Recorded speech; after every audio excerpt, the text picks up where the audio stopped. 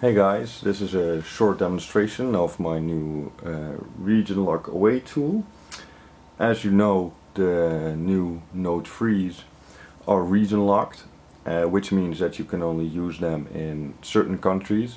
This is a European Note 3. Uh, I can't use it with a SIM card from the United States or the Middle East or anything like that. Um, obviously this is not what we want if I go to the United States I want to be able to use my phone. So we need to unlock it. First there's some things you need to know. Uh, the region lock is not the same thing as the SIM lock. Um, if you have a truly SIM locked phone, for example, uh, you bought a T-Mobile USA phone uh, and you want to use it on the AT&T network, then this is not going to help you because the SIM lock and the network lock are related but they're not the same thing. So removing the network lock does not remove the SIM lock.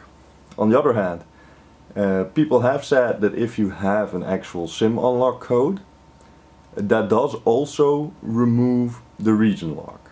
So if you don't want to root your device to use my tool or uh, for void the warranty, you can get an actual SIM unlock code the you can get those on the internet for like 20 bucks or something.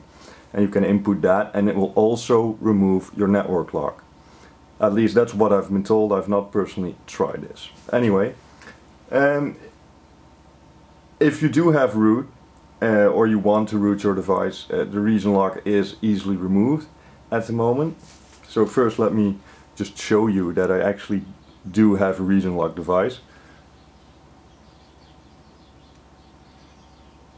I'm just gonna reboot it. So you can see that the pop-up comes up for the network pin.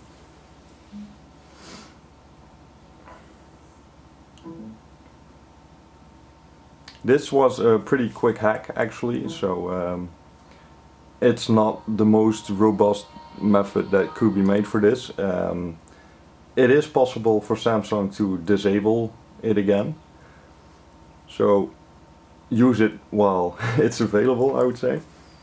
So let me just enter my pin code. It's a very obvious one. You see here's the network unlock pin screen. Um, if you were to take your European Note to the USA, to the Middle East or Asia and you would put in a local SIM to uh, call and text cheaply, this is what you would be presented with. So we can just dismiss it. And we start the RegionLock Away app. We just press the regional lock button. It needs root.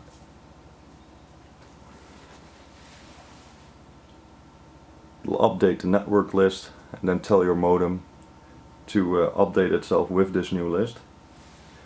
After it's done you'll get a nice message that it's done and we just reboot.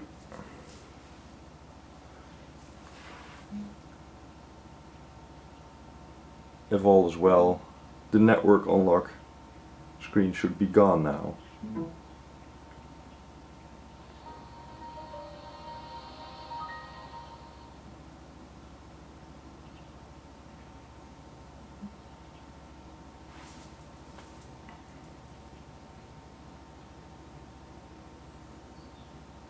See, there we go. No network unlock uh, pin needed. You can just freely use your device anywhere in the world. So, enjoy!